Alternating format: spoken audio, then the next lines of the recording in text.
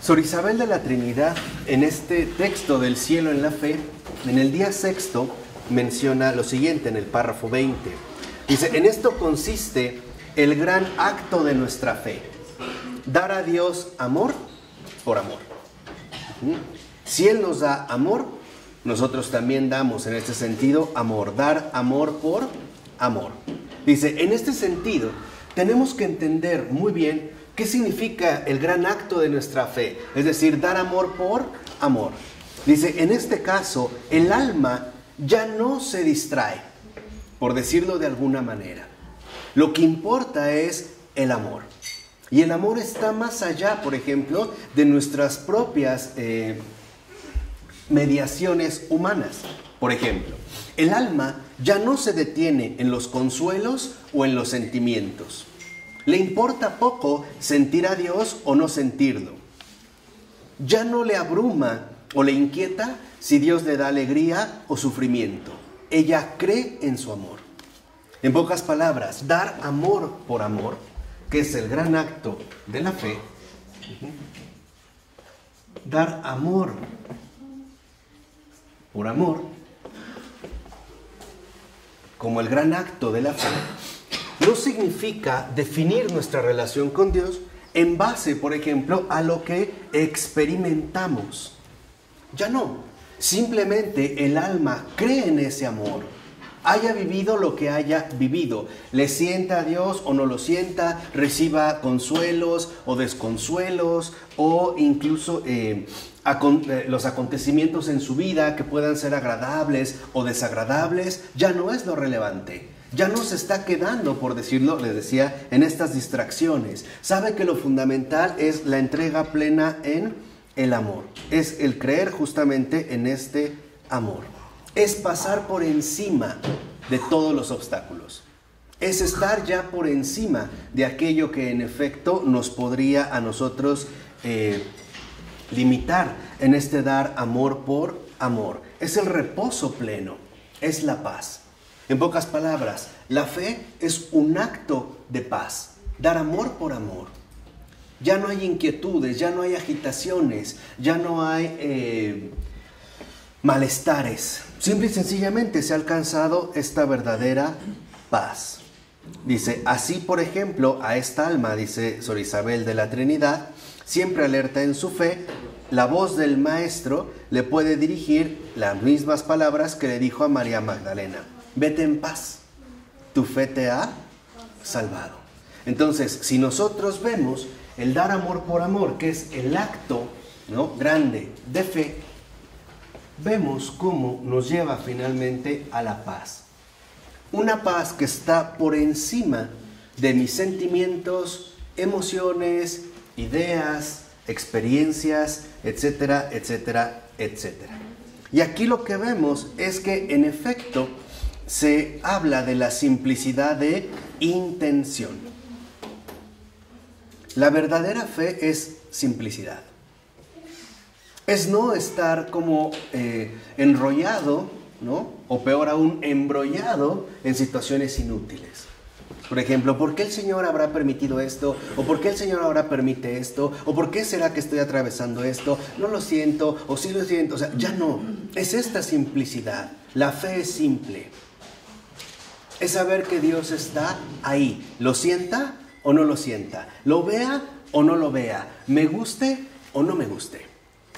Dios finalmente está ahí. De tal manera que en esta simplicidad de intención aparece como el principio y fin de todas las virtudes. Y aquí vemos algo importante. Solo a partir de esta simplicidad es que las virtudes se van desarrollando de manera gradual y en este sentido también óptima. ¿Por qué?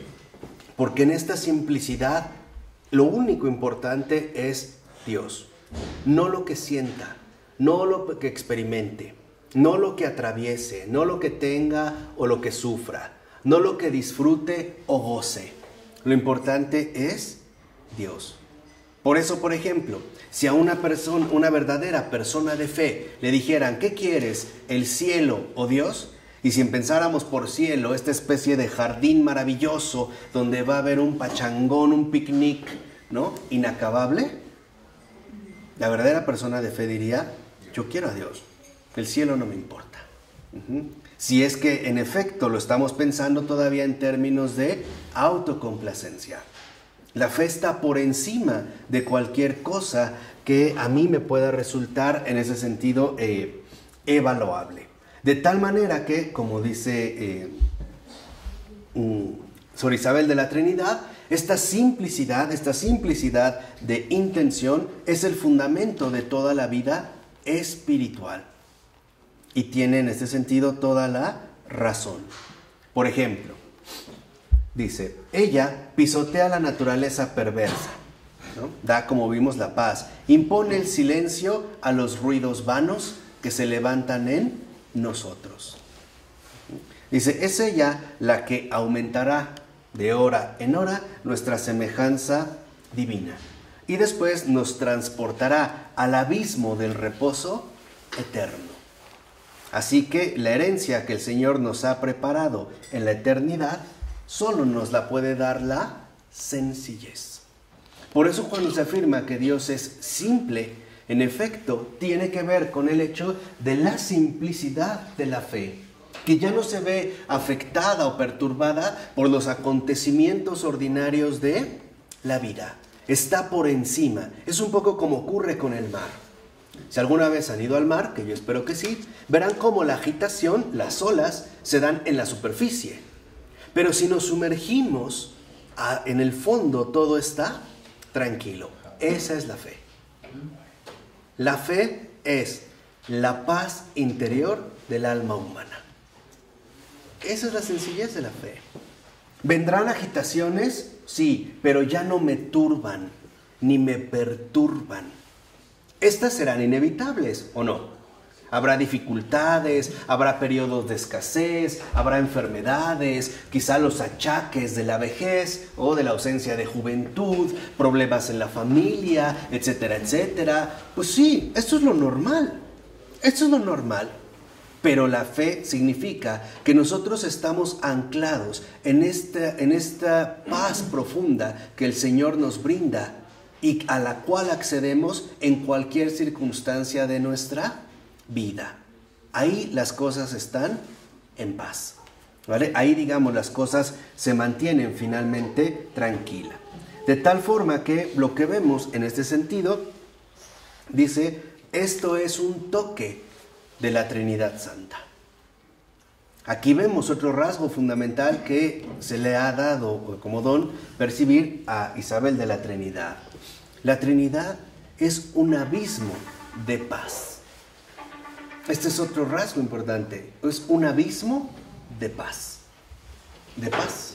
Es la paz absoluta. Donde no hay finalmente, ya dijimos, ningún tipo de eh, perturbación.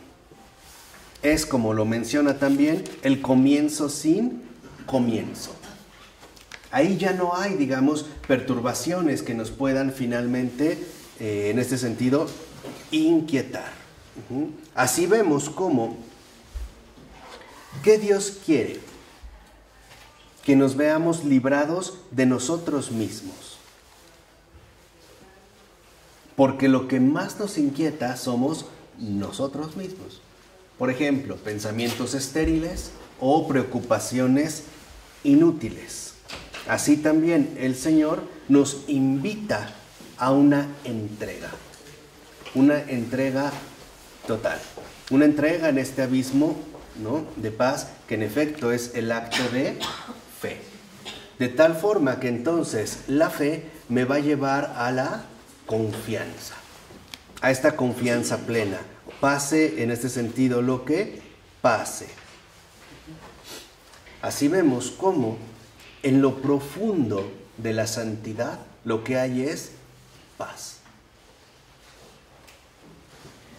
Lo voy a decir de esta manera, un poco para que comprendamos el contraste que se quiere establecer.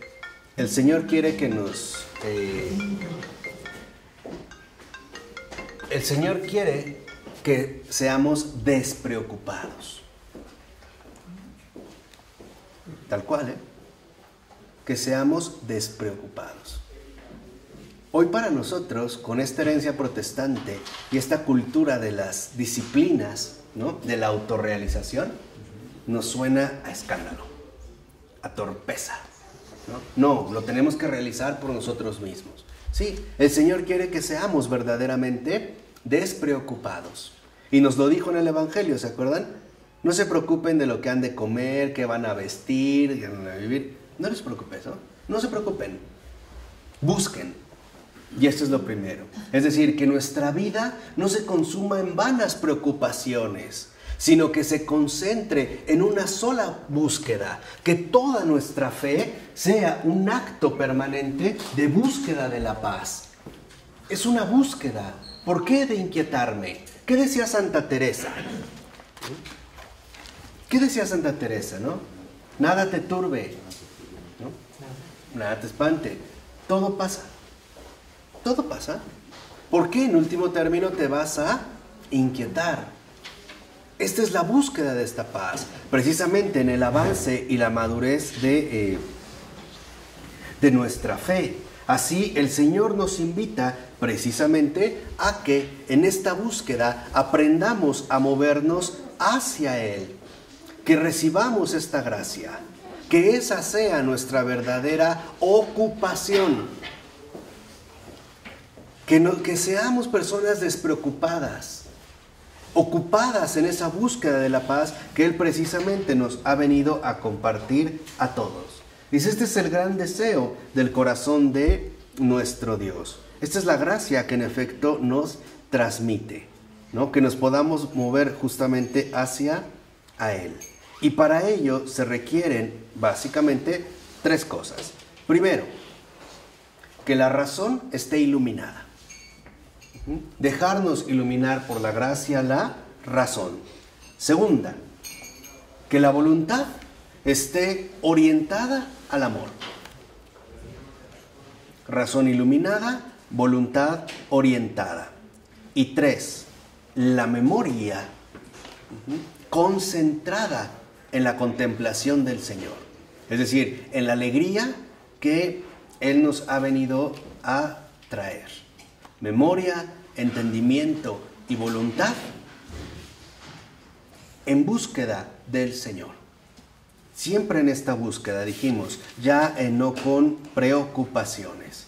Y esta búsqueda se lleva a cabo en el silencio, en el recogimiento. Por ejemplo, ¿por qué preocuparnos por lo que sucede? ¿Qué acaso no el Señor es el que está ahí? ¿No será que la fe, la paz, me lleva incluso a escuchar su voz que me dice en cualquier circunstancia de mi vida, por muy difícil que sea, por muy desagradable, etcétera, no temas, soy yo? ¿No será que necesitamos, ¿no? contemplar la presencia de Dios en todo? Dice, ¿qué es entonces lo que el Señor quiere? Que recibamos su sello, la paz dice Sor Isabel de la Trinidad, la paz es el sello de la Trinidad.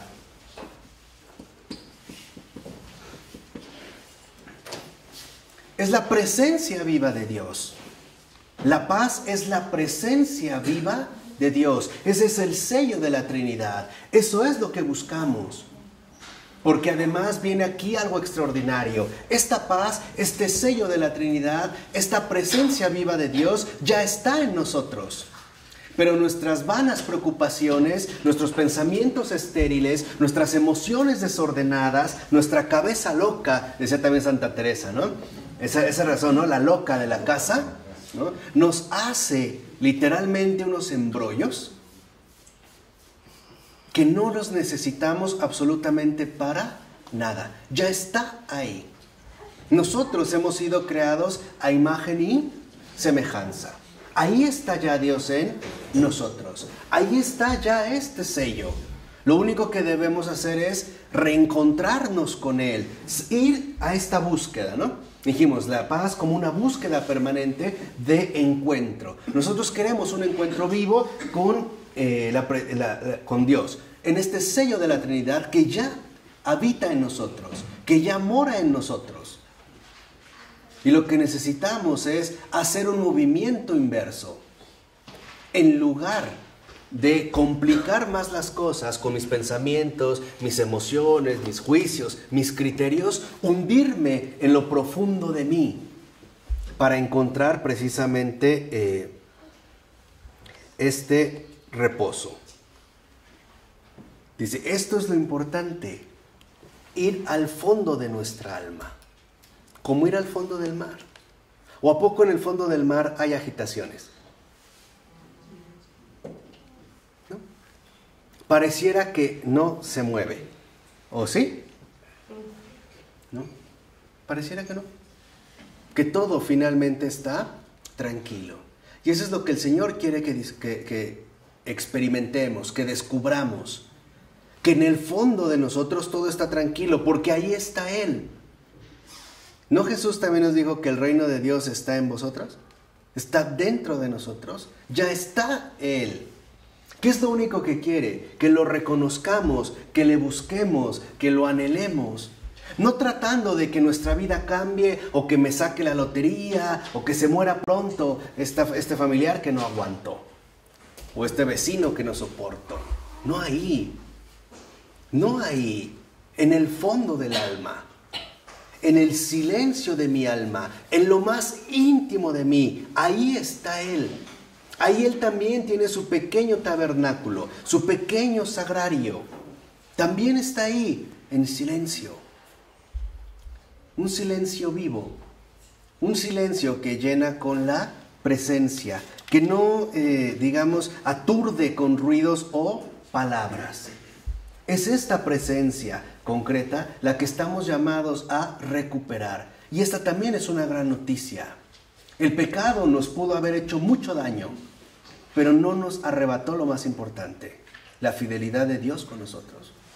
La presencia de Dios uno y trino en, en el fondo mismo de nuestra alma.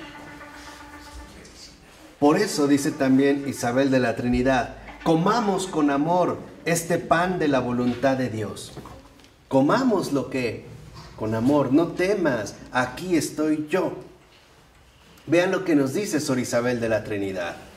Si algunas veces sus determinaciones son muy dolorosas, son muy difíciles, son realmente eh, arduas, podemos decir sin duda con nuestro Maestro adorado, Padre, si es posible, pase de mí este cáliz, pero añadiremos también lo que falta, pero que no sea como yo quiero, sino como quieres tú. O sea, digámoslo completo en esto, digamos, en este sentido, seamos, como dijimos, leales. Dice, y así busquemos siempre esta serenidad y entendamos que en el Calvario, en el Calvario que tenemos que atravesar cada uno de nosotros, siempre encontraremos al consolador. Siempre encontraremos a Dios en el fondo de nuestras almas. Ahí está el crucificado también, haciendo subir un himno de acción de gracias porque Él ha sido crucificado por amor. Abierto precisamente de nuevo, ¿no? Los brazos para cada uno de nosotros para tomarnos con Él y ofrecernos al Padre en el Espíritu Santo. Ahí está también la obra. Pero quizá muchos de nosotros no nos dejamos tocar, o por lo menos no tan fácilmente. Dice, en esa medida, en la medida pues en la que nosotros nos dejemos tocar por Él, entremos literalmente al fondo de nuestra alma hasta hallarle, en esa medida también irá incrementando nuestra santidad. En esa, justo en esa medida. Por eso dice, adorémosle en espíritu. O sea, tengamos el corazón y el pensamiento fijos en Él. El espíritu lleno de su conocimiento mediante la luz de la fe. Amémosle pues en verdad, o sea, con el testimonio de nuestras obras.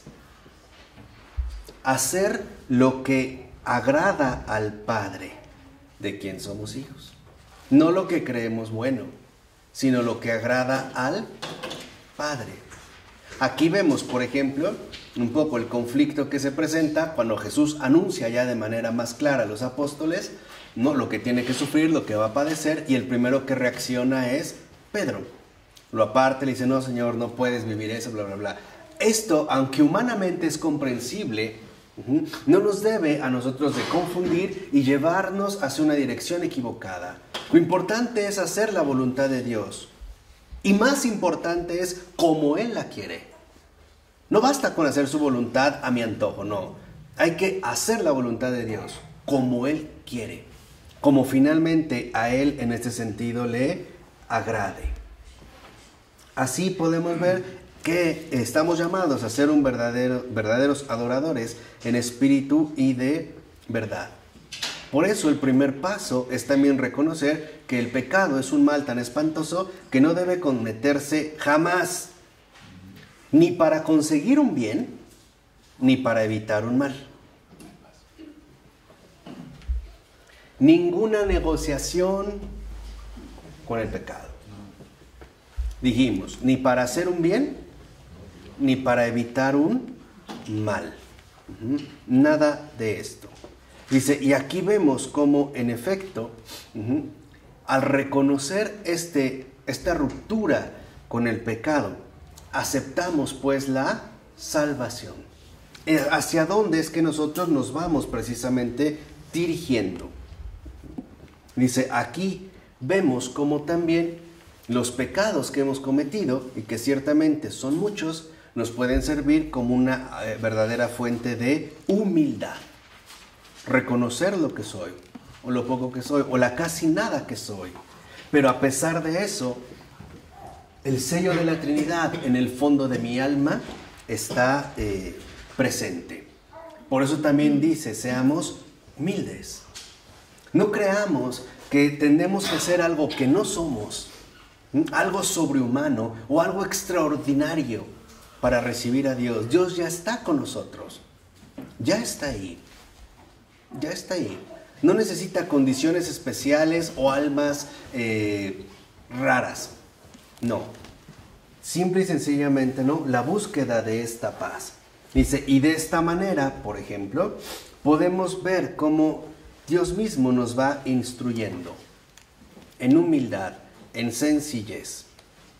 Dice, aquí lo que vemos en este sentido es que el mejor ejemplo que nosotros tenemos de esta vida plena, de este acto de fe, es la Virgen María. Una vida tan sencilla, dice Sor Isabel de la Trinidad, que no se puede decir casi nada de ella. Casi nada, ¿no? Tan escondida. Esta Virgen fiel, ¿no? La Virgo Fidelis. Dice, se mantenía, ¿no? Tan pequeña, tan recogida delante de Dios en el secreto del templo, que atraía todas las complacencias de la Santa Trinidad. Primer punto, el Padre inclinándose hacia esta criatura tan bella, tan ignorante de su belleza. María no se la pasaba horas y horas en el espejo, o viendo a ver qué maquillaje le queda mejor, o si ya le hacía falta una operadita, una estiradita, ¿no? O un botox o cosas por el estilo, ¿no? O si se iba a ir a Egipto, ¿no? A que le hicieran un, este, exfoliación y no sé qué tantas, que le retiraran la piel muerta, ¿no? Literal, tan ignorante de su belleza. Y si no, no obstante, el Padre la ve a ella, la contempla a ella porque la Virgen no se ve a sí misma. Está plenamente, ¿no? O digamos, toda su mirada se dirige a Dios. Y por eso Dios mismo también no le quita de manera literal los ojos de encima. Dice también Sor Isabel de la Trinidad. En ese sentido vemos cómo Dios ha escogido o la ha escogido para vivir dentro de sí. ¿Y con qué paz? con qué recogimiento María se sometía y se prestaba a las cosas, que en efecto tenían que ver con la voluntad de el Padre. Dice, incluso vemos que la Virgen no dejaba de ser la adoradora del don de Dios. Esto no le impedía entregarse a las cosas de fuera, cuando se trataba de ejercitar la caridad. Lo vemos en el caso concreto ¿no? Cuando va a visitar a su prima, Santa Isabel. Se pone en camino. Lo exige la caridad. Y eso que ella ya va embarazada también. Digamos, en estos eh, primeros meses. Dice, por ello lo que vemos es que la caridad se extiende tanto al interior como al exterior. Así pues, en nuestro, al encontrar esta paz en el sello de la Trinidad, podemos ver que el dar amor por amor también tiene una doble dimensión, interior, exterior. Esto significa que al entrar al fondo de mi alma, a lo interior, lo que observe sea a Dios. Y al volcarme hacia el exterior, a quien vea es al prójimo. Por eso le decía, el amor no tiene ojos para sí mismo, el amor no se ve a sí mismo. Por eso el Señor les hizo ver o nos ha hecho ver cómo el mandamiento fundamental, amar a Dios sobre todas las cosas y al prójimo como a ti mismo, forman uno, uno solo. Ahí está contenida, como le dijo, toda la ley y los profetas. Y aquí hay un aspecto central. Si Jesús mismo nos dijo que en este mandamiento, estos mandamientos, se concentran, se recogen toda la ley y los profetas, nos está dando una clave fundamental. ¿Para qué se nos dio la ley? ¿Para llevar un comportamiento moralmente correcto? No. La ley se dio para que Dios sea observado en lo más profundo de cada uno. Para eso se nos dio la ley. ¿Y para qué hubo profetas? ¿Para qué se nos dieron profetas? Para que nuestra mirada también fuera capaz de abarcar al exterior y dirigir toda nuestra atención hacia el qué? Hacia el prójimo. Ahí está la ley y los profetas. Que toda nuestra mirada interior en la ley sepa hacia dónde va, hacia Dios, hacia Dios. Y en los profetas, si ustedes ven también los profetas, verán que la figura destacada es el prójimo. ¿Para qué? En el momento de dirigirnos a lo exterior, siempre miremos al prójimo. En pocas palabras, que nunca nos busquemos a nosotros mismos, que no andemos ensimismados en nosotros, que si entro a lo más interior de mí, ahí está Dios. Y si salgo hacia el exterior, ahí está el prójimo. Ahí está, digamos, la vida contemplativa, que esa es justamente, ¿no? La vida eh, que llevó ya en la tierra María. Una vida sencilla, una vida simple. Adentro Dios, a quien veo es a Dios, a quien encuentro es a Dios, y afuera, a quien veo y a quien encuentro es justamente a el prójimo. Dice, esta es la manera de ser alabanzas de gloria adorar a la Santísima Trinidad. Adorarlo a Él en mí y a Él en mi prójimo. En esta misma línea. De tal forma que entonces no andemos, como les decía, obsesionados con nosotros mismos. Por eso dice, en el cielo cada alma es una alabanza de gloria del Padre, del Verbo y del Espíritu Santo, porque cada alma está establecida en el puro amor y ya no vive más de su propia vida, sino de la vida de Dios. Así vemos cómo su entendimiento es el entendimiento de Dios, su voluntad, la voluntad de Dios, su amor, el amor de Dios. Es decir, estamos llamados a hacer una perfecta alabanza de gloria, que es uno de los términos fundamentales de Sor Isabel de la Trinidad. Dice, la perfecta alabanza de gloria es aquella que en el alma humana, cuando se dirige al interior, a quien contempla es a Dios, a quien sirve es a Dios. Y cuando su mirada se dirige al exterior, a quien contempla es al prójimo, a quien sirve es al prójimo. Esa es la alabanza de gloria.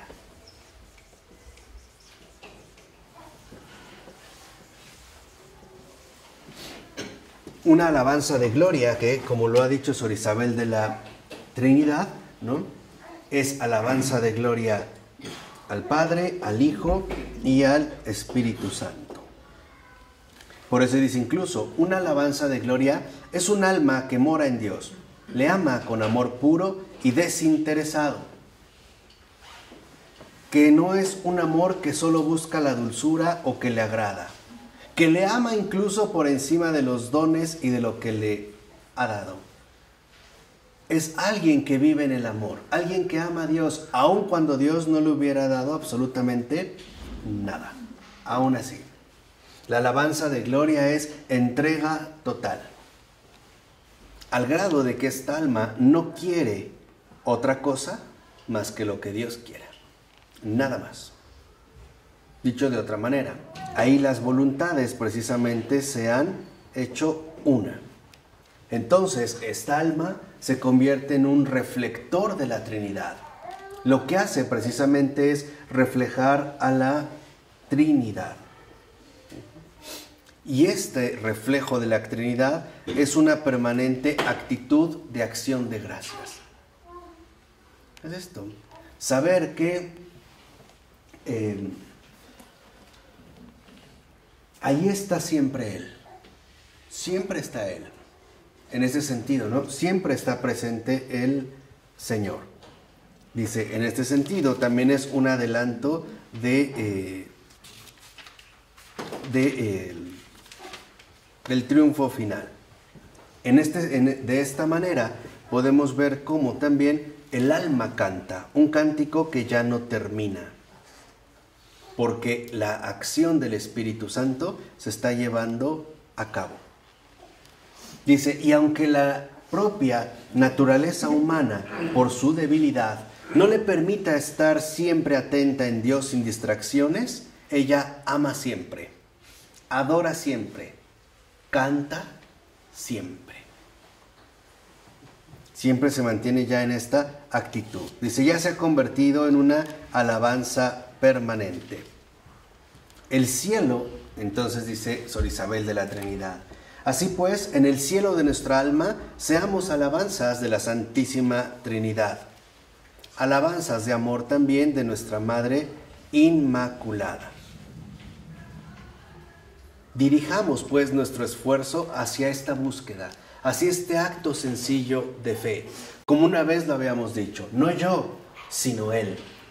No yo, que si entro a mi interior, si entro a orgar a mi interior, que no sea por ensimismarme, que no sea por estarme buscando a mí, no yo, sino Él, que encuentre verdaderamente la presencia de Dios en mí, y no este desorden caótico, aunque no irreal, del inconsciente, que tantos dolores de cabeza nos ha traído. Esta tortura psicoanalítica del caos humano y de andar por ahí ondeando, ¿no? En el sentido de las honduras humanas sin llegar en realidad al fondo de las cosas y por otro lado también de las distracciones falsas del exterior que nos conducen a todo, menos al prójimo, a la autocomplacencia. Que no nos dejemos literalmente engañar. Que esta alabanza de gloria siempre sea una alabanza de gloria al Padre, al Hijo y al Espíritu Santo. Dice, así un día se descorrerá el velo Seremos introducidos en los atrios eternos y allí cantaremos en el seno del amor infinito. Y Dios, como dijo en Apocalipsis capítulo 2 versículo 17, nos dará el nombre prometido al vencedor. ¿Cuál será? ¿Cuál será este nombre? ¿Cuál será este nombre prometido al vencedor? ¿Cuál será? Podría ser, este es mi hijo muy amado, en que tengo puestas todas mis complacencias. Pero para ello debemos comenzar por realmente ejercitar la fe, en dar amor por amor, hasta que la paz sea ese sello invencible de la Trinidad en cada uno de nosotros que el mundo no conoce. Es más, que al mundo le enfurece que al mundo simple y sencillamente le trastorna. Seamos unos despreocupados. En ese sentido que acabamos de mencionar, seamos verdaderamente unos despreocupados. para que a través de esta preocupación la búsqueda de la paz se convierta en el acto definitivo de nuestra fe y que cada vez que miremos hacia nuestro interior lo encontremos a Él. ¿no? Vamos a llamarle así. A Él. Y que cada vez que miremos hacia el exterior le encontremos a Él también. Ahí está Él, ahí Él. Que vivamos el modo según Él. Y que nos olvidemos ya de ese obsoleto, dañino y enfermizo modo yo. Por muy segmentado que esté, por muy eh, profundo que esté, por muy consciente, subconsciente o inconsciente ultra inconsciente que esté, ya no. Ahí estamos, literalmente, ¿no? En un laberinto sin salida. Dejémonos trascender por aquello que me invita a algo todavía más grande, hasta que el Padre, el Hijo y el Espíritu Santo lo sean todo en mí, para mí y para todos. ¿De acuerdo? Ya no soy yo, es Él el que vive en mí. En nombre del Padre, del Hijo del Espíritu Santo.